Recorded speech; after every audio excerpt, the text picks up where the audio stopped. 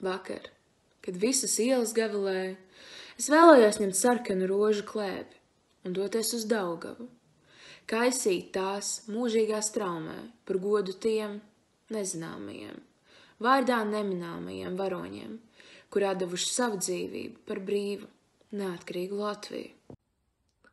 Jauni vecīši sagaidīja mani uz ielas stūriem. Sit man tēvišķīgi uz pleca, norāja, pamāca un šļupst apnikuši sveču gudrības. Gadās arī veci jaunekļi, kā ķiršu koki, kuri gatavojas ziedēt pret rudeni.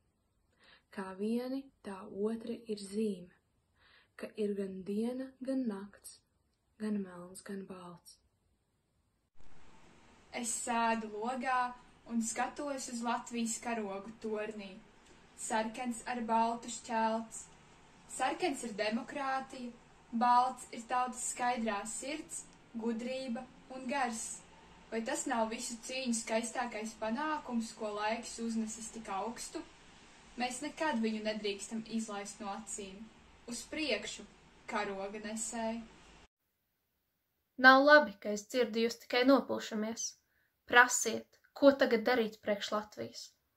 Latvija nav vairs ne sapņi, ne nopūtas. Latvija ir darbs un cīņas. Ir brīži tautas dzīvē, kad tos skar dievišķā uguns, un viņa uzliesmo visā savā spēkā un skaistumā. Lielais liesmojums uz laiku ir izsmēlis tautas dvēseles spēkus, bet tas ir atstājis ogas, kuras ar vienu no jaunu var uzpūst liesmās, un pie kurām sildoties tauta dzīvo gadu simteņus. Ir bijuši vārdi, kas atskan vienu reizi, un darbi, kurus pieminēs paudzēs. Vai jūs nemaz nezināt, kas ar jums notiek? Laiks, ka jūsu sirds priekš Latvijas. Jūs topat par pilsoņiem un patriotiem. Kas būs ar Latviju? Kā mēs viņu varētu glābt? Kā pacelt viņas slavu? Šīs rūpes jūs nesat kā nastu, kuras jūs negribat nolikt, jo līdz ar to jūs būtu nolikuši visu savu dzīvi. Jums pašiem nemanot, jūsu dzīves ir paplašinājušās.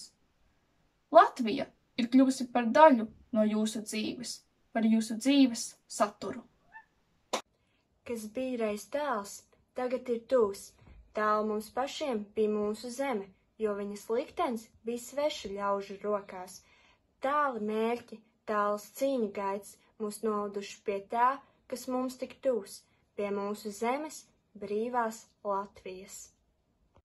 Latvija, tu esi tik dažāda, viena, bet tik dažāda. Cik dažāda tu, tik dažādi mēs, tavi bērni. Daudz laimes tev, Latvija!